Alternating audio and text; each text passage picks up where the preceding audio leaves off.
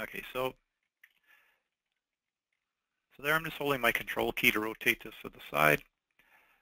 And you're going to see I've got two trajectory rods here. So I'm going to click on Analysis, go to Bullet Path Reconstruction. I'm going to select by fence, this area right here. And it might be hard to see um, on the webinar, but there's a white line or a best fit line that's been drawn um, between those points. I can tell it I want to draw a cone. I can set its length to, let's say, 10 feet. Then I can draw that cone into the drawing. Then I'm going to do another fence around this other group of points here that define the other rod. I'm going to make this red, draw it in, close.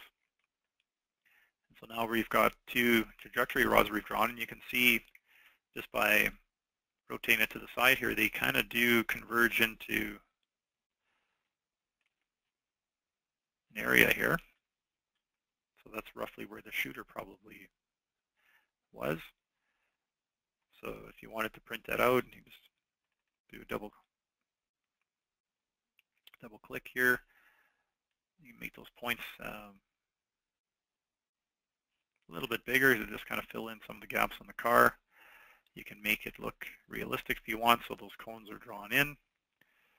You could go do some dimensioning and you know in the drawing if you wanted to, but there is an example of how quickly you can draw some uh, trajectory cones in uh, with IMS map.